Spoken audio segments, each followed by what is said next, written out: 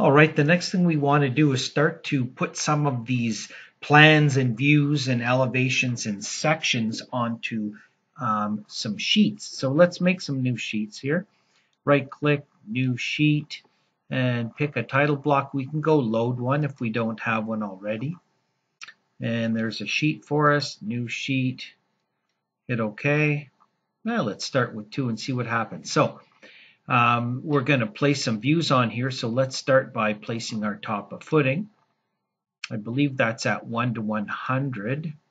Okay, so let's go to our top of footing, and now we need to turn on our crop region and start to squeeze this down a little bit because we don't need that much room for the actual view to fit on the sheet. Okay, notice how I do that and then turn the crop region off. So I'm going to go to the main floor turn my crop region on, click on it, squish it down. It's going to get rid of those elevation bubbles because they're not going to be in the crop region.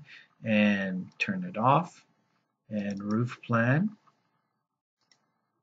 Turn on my crop region.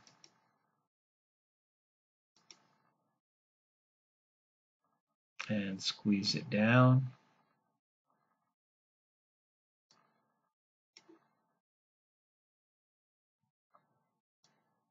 Pretty good. And then turn it off to get this all done. Okay, now let's go back to that sheet. We can right click on here. Well, let's see what fits on here first. Let's go to footing. Oh, it's already on this sheet. Oh, well, let's click on here and delete it off of that sheet. Let's Go back to here top of footing. Not bad. Top of main. Notice it'll line up here quite nicely. Take this guy, nudge it over with my arrow key, nudge this guy over. Ooh, boy, it fits tight, but it will. So click on the view, then grab that little grip and stretch it. Click on the view, grab the grip and stretch it. Hit escape. Take this little dude grab it, press and drag because I have my press and drag turned on. Now I can see that I've got a little bit too much sticking out here so I can drag those guys in. Vertically I'm okay. And that should carry through to my other plan. So if I click on here, eh, I can nudge that over. It looks like my two foundation and main floor are going to fit on there. Let's right click and rename that and call it, you know, main and FDN plans. And I also want to maybe be called S1. Right click on here, rename this and call this S2 and call it um, second and roof plans good.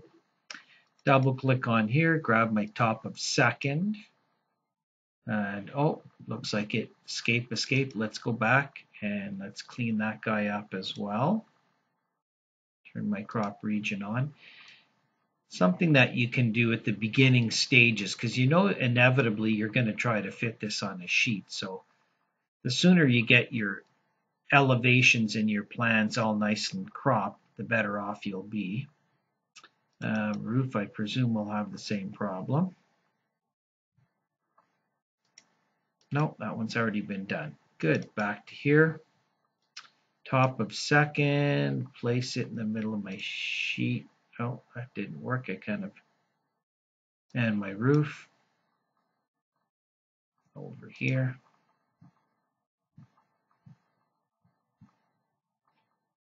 And escape, escape. So the roof looks like it's in pretty good position. Now what I want to do to line this up is watch, I'm going to hit escape and I'm going to click on this view and I'm going to drag it up and you're going to see that blue, you see the blue alignment line come across when it lines up horizontally and then I'm just going to nudge it over just enough to get it. Click on here and nudge this guy over. It's a tight fit, but it fits. Click out. Click on here, grab that grip, slide it over. Click on here, grab the grip, slide it over. Then grab this guy. And because I have my press and drag, I can drag that guy over. Click on here, press and drag that guy over. Click out. Okay, so there we've got two new sheets with our plans and our uh, four plans placed on our new sheets.